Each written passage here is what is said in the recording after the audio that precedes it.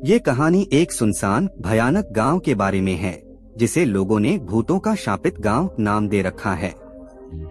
कहते हैं कि इस गाँव में जो भी गया, वह कभी वापस नहीं लौटा। यह गाँव इतना डरावना है कि लोग इसके पास जाने से भी डरते हैं।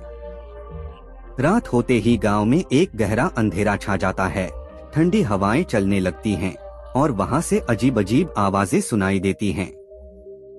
कहानी की शुरुआत होती है एक पत्रकार से, जो अपने दोस्तों के साथ इस रहस्यमयी गाँव के बारे में जानने का फैसला करता है।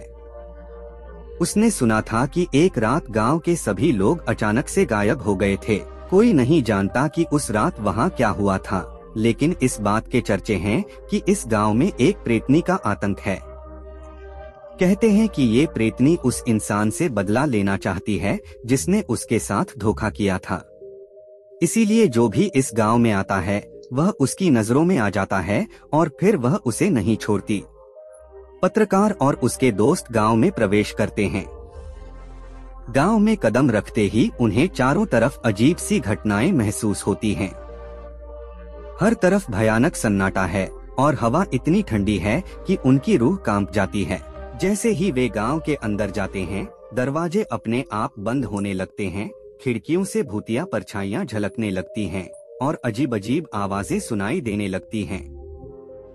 इन घटनाओं से पत्रकार और उसके दोस्त बुरी तरह डर जाते हैं। कुछ समय बाद उन्हें एक बुज़ुर्ग आदमी मिलता है, जो बताता है कि यह गाँव एक सांप का शिकार है। वह कहता है कि यह सांप एक पत्नी का है, जिसे उसके पति ने धोखा दिया था। इस धोखे का बदला लेने के लिए उसकी आत्मा इस गाँव में भटकती रहती है, और जो भी इस गाँव में रात बिताने आता है, वह उसकी ज़िंदगी तबाह कर देती है। पत्रकार और उसके दोस्तों के मन में डर बढ़ता जाता है, लेकिन फिर भी वे इस रहस्य को सुलझाने का फैसला करते हैं। अंत में, पत्रकार का सामना उस प्रेतनी से होता है।